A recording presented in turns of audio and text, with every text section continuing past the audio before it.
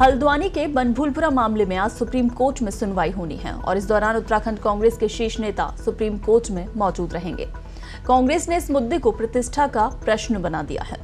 बुधवार को कांग्रेस के प्रदेश अध्यक्ष करण महारा, कांग्रेस विधायक दल के उपनेता भुवन कापड़ी, हल्द्वानी के विधायक सुमित देश, उपाध्यक्ष धीरेन्द्र प्रताप, विजय सारस्वत दिल्ली पहुँचे।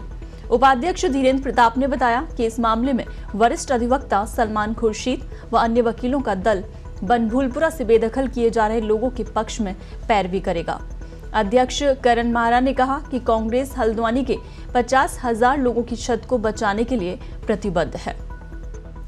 आपको बता दें कि हाल ही में हाईकोर्ट ने बनभूलपुरा गफूर बस्ती में रेलवे की 29 एकड़ भूमि पर किए गए अतिक्रमण को ध्वस्तीकरण करने के आदेश दिए थे। इस जगह पर करीब चार हज़ार तीन सौ पैंसठ अतिक्रमणकारी हैं। आदेश के बाद से ही लोग आशियाना बचाने के लिए हर संभव कोशिश कर रहे हैं।